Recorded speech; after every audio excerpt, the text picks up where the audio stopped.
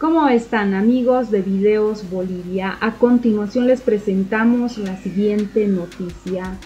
Una encuesta a dos semanas de la realización de las elecciones subnacionales en Bolivia.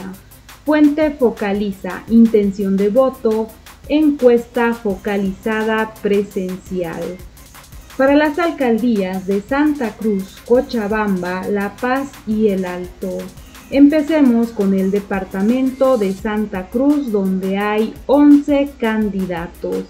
Si las elecciones para la alcaldía de Santa Cruz fueran hoy, ¿por cuál candidato votaría usted? Encabeza Johnny Fernández con el 33.9%, seguido de José Gariáñez de Comunidad Ciudadana con el 30.9%, Angélica Sosa 12.8%, Rolly Aguilera 6.3%, Adriana Salvatierra 6.2%, Roberto Fernández 1.1%, David Capobianco 0.4%, Rosario Eschamidecines 0.4%, Enrique Bruno 0.2%, Víctor Hugo Núñez del Prado 0%, Omar Rivera 0%, votos blancos 1.4%, votos nulos 1.6%,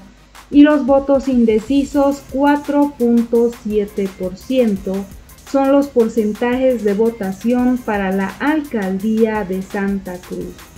Al parecer, los candidatos con mayor intención de voto son Johnny Fernández, José Gariáñez y Angélica Sosa.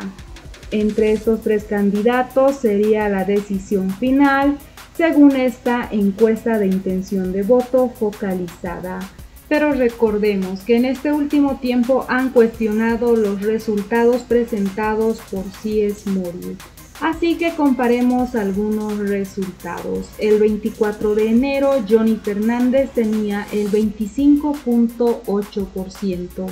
El 11 de febrero Johnny Fernández llegó al 29.5% y actualmente Johnny Fernández tiene el 33.9% mientras que José Gariáñez el 24 de enero tenía el 13%.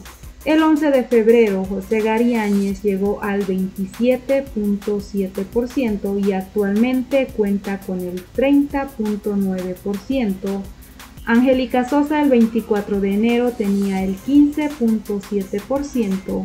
El 11 de febrero Angélica Sosa tenía el 13% y actualmente tiene el 12.8%.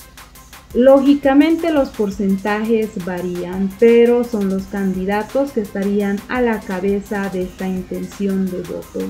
Continuamos con el departamento de Cochabamba, donde hay nueve candidatos. Si las elecciones para la alcaldía de Cochabamba fueran hoy, ¿por qué candidato votaría usted? Manfred Reyes Villa tiene el 52.2%. Nelson Cox tiene el 14.2%, Sergio Rodríguez 12.5%, Roberto Perrogón 6.5%, Johnny Antesana 1.1%, César Navia 0.0%, David Torrelio 0.0%, César Salinas 0%, Pedro Luna 0%, los votos blancos llegan al 2.8%, los votos nulos llegan al 2.9% y los votos indecisos al 7.8%.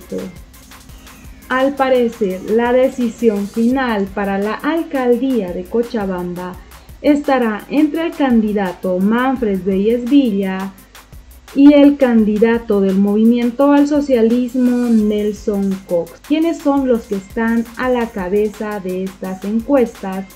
Y si recordamos las encuestas presentadas por Cies Mori, también Manfred Reyes Villa está a la cabeza.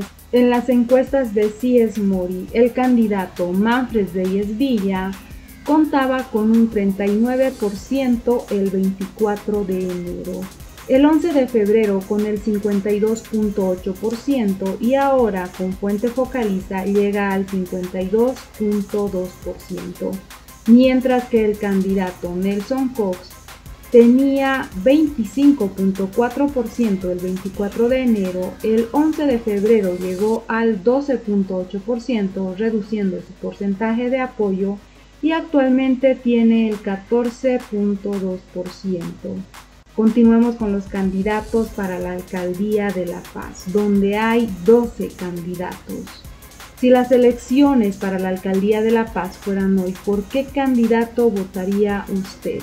Iván Arias tiene el 40.2%, César Doguelier 30.3%, Álvaro Blondel 4.1%, David Castro 3.4%, Juan Carlos Arana 1.6%, Amil Carvajal 1.2%, Luis Larrea 1.2%, Ronald Escobar 0.9%, Candidato de Comunidad Ciudadana 0.4%, José Manuel Encina 0.3%, Javier Iturraldi 0%, Peter Maldonado 0%, votos blancos 7.4%, votos nulos 1.3% y votos indecisos 7.8%.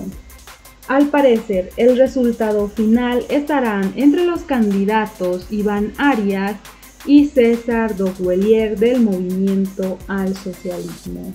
Recordemos que en las encuestas presentadas por Cies Mori, el candidato del movimiento al socialismo, César Docuelier, el 24 de enero tenía una votación del 27.6%, pero para el 11 de febrero bajó al 23.7% y en la actualidad tiene un 30.3%, mientras que Iván Arias el 24 de enero tenía el 20%, mientras que el 11 de febrero Iván Arias llegó al 42.5% según CIESMORI y actualmente Iván Arias cuenta con un 40.2% en la intención de voto.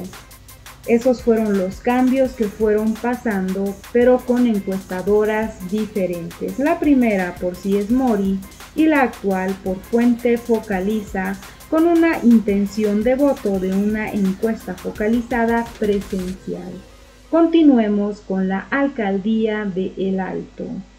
Hay 13 candidatos. Si las elecciones para la alcaldía del Alto fueran hoy, ¿por cuál candidato votaría usted? Eva Copa tiene el 72.9%, Zacarías Maquera, el candidato del movimiento al socialismo, tiene el 7.7%, Oscar Huanca 1.7%, Henry Contreras 1.1%, Pablo Merma 0.6%, Hugo Dávalos 0.2%, Candidato del PDC 0%, Luis Rómulo Venegas 0%, Irene Mamani 0%, Javier Tarqui 0%, Oscar Chirino 0%, Gregorio Condori 0%, Claudio Luna 0%. Los votos blancos llegan al 6.3%, los votos nulos al 3.7% y los votos indecisos al 5.8%.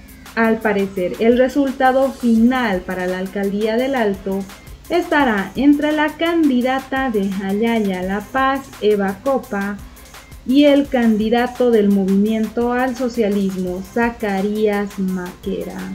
Recordemos la intención de voto del 24 de enero donde Eva Copa contaba con un 66.4%. 11 de febrero, Eva Copa llegó al 76.1% según es Mori, pero actualmente Eva Copa tiene el 72.9% según la fuente Focaliza, mientras que el candidato del movimiento al socialismo el 24 de enero tenía el 8.5%, el 11 de febrero llegó al 6.6%, fuente Ciesmori, y actualmente el candidato Zacarías Maquera llegó al 7.7%.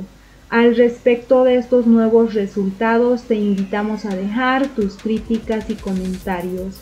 Después de ver esta comparación, ¿ustedes creen que las tendencias de las encuestadoras presentadas para estas elecciones subnacionales guardan la misma tendencia? ¿Qué opinan ustedes? Porque al final la candidata de Jayaya La Paz del Alto quien causó bastante sorpresa con el respaldo que tiene en el alto, tiene el 72.9%, mientras que el candidato del movimiento al socialismo tiene apenas 7.7%. Al parecer, las tendencias son bastante similares.